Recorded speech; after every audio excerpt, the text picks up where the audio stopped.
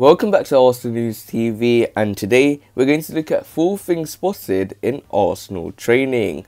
Arsenal will face Slavia Prague at the Emirates Stadium and it will be a massive game for the Gunners as this is their only chance of getting European football next season by trying to qualify through every stage and win the Europa League because they look very far away from the Premier League and have any chance of making it into the European places so this is their only hope of getting a Champions League spot. So it looks like the first thing on the list is Bukayo Saka back in training. And it looks like it's a huge boost for the Gunners because when it comes to Bukayo Saka, he is someone that the Gunners are very reliant upon because his goal attributions, his assists, he's someone that changes this dynamic of the team, he changes the fluidity, and he's, he's someone that can offer a lot on that right hand side of the attack but it is very keen to see if Mikel Arteta plays Bukayo Saka on the right winger role where he has been playing for the past few games or would he refer him back to a left back position or maybe will Mikel Arteta change to a 3-4-3 system and play Bukayo Saka in the left wing back role?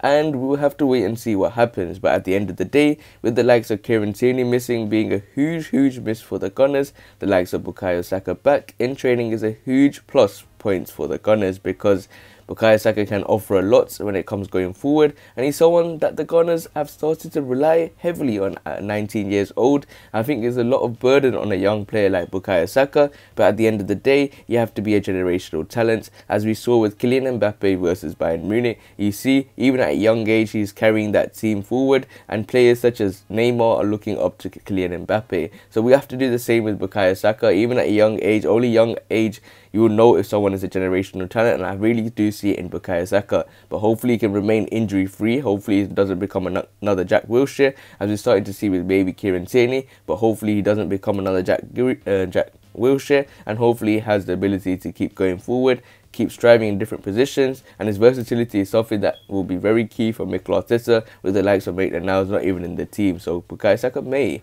feature in that position. So the next thing on the list is Pierre-Emerick Aubameyang is all smiles.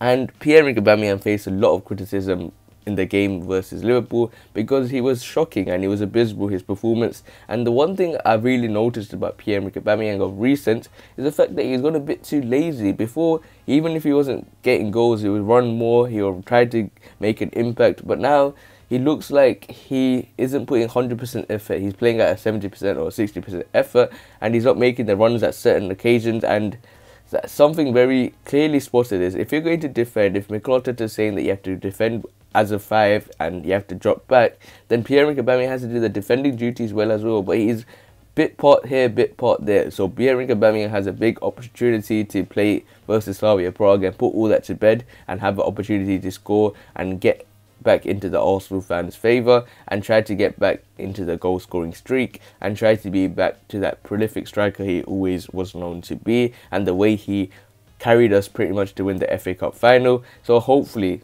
Pierre-Emerick Aubameyang can do this in the game versus Slavia Prague and regain some form of confidence from somewhere because even we saw in the game against Gabon, he had a goal and an assist. So he has the ability, but he's just struggling in this Arsenal team at the moment and it depends on Mikel Arteta if he's able to unlock the full potential of Pierre-Emerick Aubameyang. So we have to wait and see if Pierre-Emerick Aubameyang will even start because it looks like the Arsenal fans are uh, had enough of him at the moment, and many people are questioning his captaincy. Many players are questioning his ability on the ball, and many players are even saying sell him in the transfer market. So we have to wait and see if Arsenal, and especially Mikel Arteta, will play Pierre-Emerick Aubameyang this game. So the next thing on the list is Granit Xhaka back in training.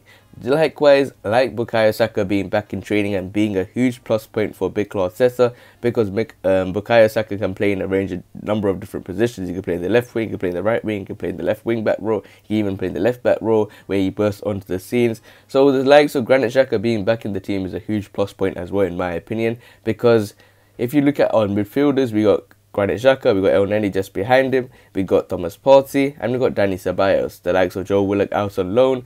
Um, other players that can fit in that position, we really do not have anyone. Maybe we can switch the formation and play Emile Smith Rowe and Martin Odegaard with two number eights. But right now, the way Mikel Arteta is playing the system, the way he wants to play this 4-2-3-1 formation, we need two good defensive midfielders, attacking midfielders, but we need really two good number sixes playing together, and that's what Granit Xhaka offers, in my opinion. But we saw his stability and technique he offers when it comes to the ball, and he offers some stability, as I keep mentioning, when it comes to Granit Xhaka. Even though he might not be the best on the ball, he might not be the quickest person, he might not have the best physicality, but he has his mistakes here and there. But we really have a good player, in my opinion, when you look at the other players. And the thing I keep coming point coming to is the summer transfer window, and Mikel Arteta keeps saying that there's going to be a huge summer overhaul. So hopefully the Gunners are going to get some new midfielders in because Granit Xhaka is a decent midfielder. I don't know if he can reach the heights that we all expect him to, but we have to wait and see if he can really go to the level that I expect of Granit Xhaka. But for right now, he's someone that we have to start every game alongside Thomas Partey because our midfield is shocking. And the final thing on the list is Miguel Azeez is all smiles. And speaking of the midfielders, I thought we might as well talk about Miguel Azeez because our midfield is very shocking in my opinion. Apart from Thomas Partey and maybe Granit Xhaka, Elneny is a bit part player. He's always going to be a squad player in my opinion. And the likes of Dani Ceballos, he has been shocking. In the game versus Liverpool, he was pretty much done nothing. I think he made um, Thomas Partey play the midfield by himself. So we have a lot of things to work on. And I think Miguel is being put in with a lot of Hale Enders back into the squad in training as well. That's good only for Miguel Azeez's development. He can turn to be the next Bukayo Saka, the next Emile Smith Rowe, and he has the opportunity. And you see he's all smiles here, so he must have done something cheeky, or he must have done a really good goal, or he must have shown his ability on the ball, because we all know that Miguel Azeez has the ability at a young age, but he has to now show it on the big stage, and hopefully he can. And he may get a feature maybe in the last 10 minutes or something if Mikel Arteta really, really, really wants the opportunity for Miguel Azeez. If he has really impressed him, as you can even see in this picture, Pierre-Emerick Aubameyang is impressed by his skill and flair. So he might get the opportunity, but we have to wait and see. But I think Miguel Azeez maybe just in the Europa League subs maybe, but he's not probably going to get the opportunity. But at the end of the day, it's all for his development. And if he starts to show good performances, he's someone that you can slot right into the midfield because we've got the likes of Guendouzi and Lucas Torreira. We don't even know their futures. Lucas Torreira wants to go back to Boca Juniors uh, Matteo Guendouzi is in a sticky situation, so we have to wait and see if Miguel Azeez might be the future in midfield. So we have to wait and see how Mikel Arteta has this plan, and hopefully it's a huge game for the Gunners, and hopefully they know because I want a victory in this game and a victory in the second leg as well, and qualify to the semi-final. But other than that, guys, remain blessed. Stay tuned for the next video, and peace.